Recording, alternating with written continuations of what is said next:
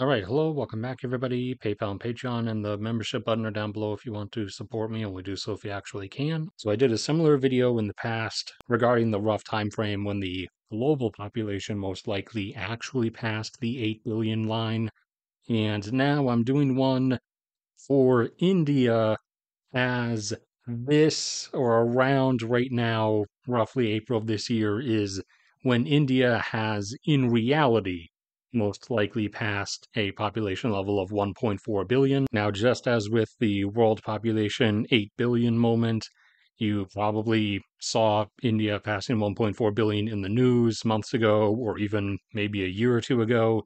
And that is because, just like with the world population or basically any other population numbers, the news media are relying on not data from India or from any UN agency or any country's demographic agencies. They're usually just pulling those numbers from population clock websites like this one or this one or this one, all of whom you'll see have different numbers for the world or any individual country.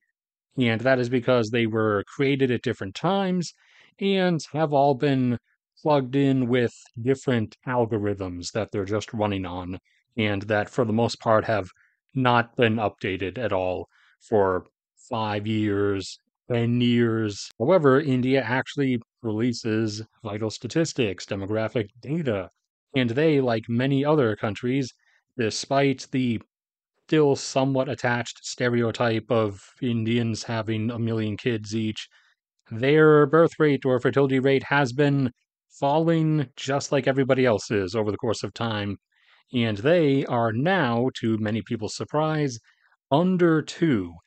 And they're around 1.9 or 1.8 children per woman as of present day, which combined with primarily outward immigration trends, as India's present population pyramid looking more like this, with the newest age brackets, the newest years beginning to contract compared to those roughly 20 years above them. Thusly, India is no longer adding 25 million people every year.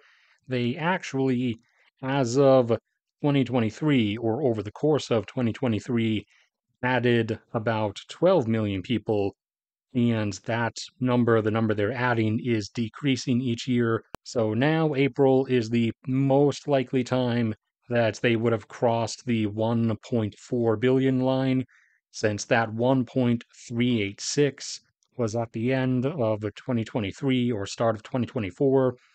And and if you assume that they stayed at an addition of at a net gain of 12 million people per year and did not continue decreasing, then 12 million people per year is 1 million per month. So that's 12 million over 2024 last year, which would put it at 1.398 at the start of this year. And then January and February, the first two years, will put it at 1.4. But it probably went down to a net addition of 11 and a half, maybe, I don't know, 11.7 million people or something last year.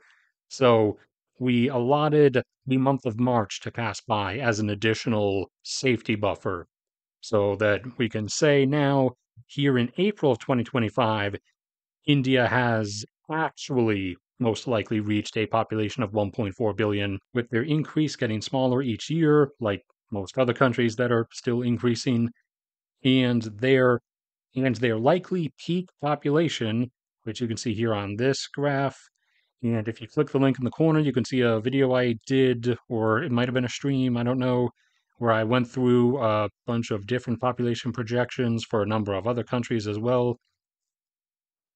But whereas in the past, back at the start of the 21st century, everyone was panicking and thought India was going to end up with a population of two and a half billion at some point. And then once we hit around 2010, everyone adjusted those projections down to accepting the reality that India would peak below 2 billion. And then it was adjusted down to 1.8 around 2020. And now most of the UN population projection stuff is starting to get in line with reality.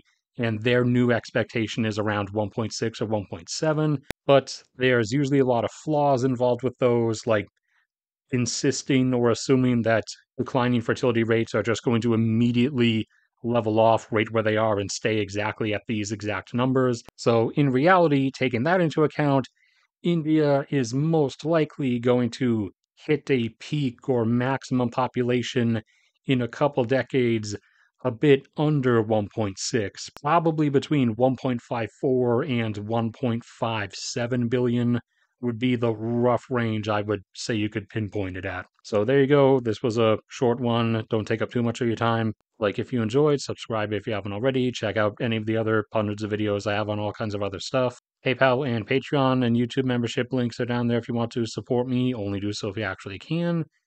There's a link in the description to a Google Drive with folders full of all kinds of different graphs across all kinds of different subjects and metrics. That's all free to access, free to use anytime. There's a link to my photography Instagram as well.